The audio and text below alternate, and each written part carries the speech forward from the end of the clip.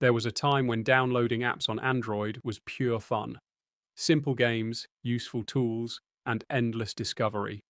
But slowly, ads, subscriptions, and region locks ruined the experience.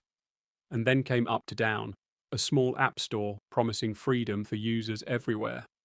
But how did it become a savior in a world full of restrictions? Back in the early 2000s, downloading apps wasn't always easy. Google Play and the Apple App Store were restrictive. Regional locks, paid apps, and mandatory updates frustrated users.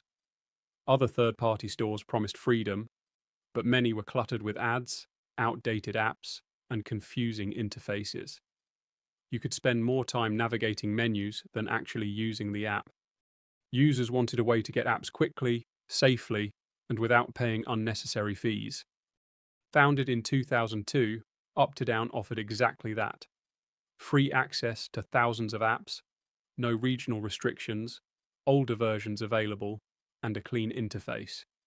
Finally, users could explore apps without the headaches of ads, subscriptions, or blocked downloads. For gamers, tech enthusiasts, Uptodown felt like magic, but this freedom also came with responsibility. Of course, nothing is perfect. Because Uptodown offered APKs, users had to be cautious. Fake apps and malware occasionally appeared. Unlike the Play Store, Uptodown couldn't control every upload.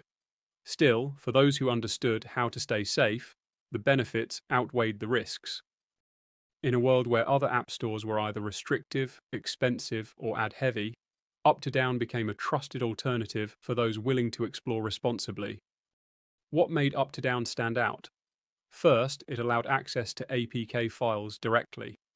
This meant you could install older versions of apps or even apps that weren't available in your country. Second, it minimized intrusive ads, offering a smoother experience than other third party stores. And finally, it gave users control, something that traditional stores rarely allowed. Compare it with the rest Google Play and Apple App Store. Safe, yes, but restrictive and expensive. Other third party stores, free, but messy and risky. Uptodown, clean, flexible, and globally accessible. It became the digital savior for Android users worldwide, giving back the control that app stores had taken away. For millions, it felt like discovering a secret treasure chest of apps. Uptodown wasn't just another store, it was a revolution. It didn't ask for permission, it just gave users what they wanted. No paywalls, no locks, no limits, and maybe that's what true innovation looks like.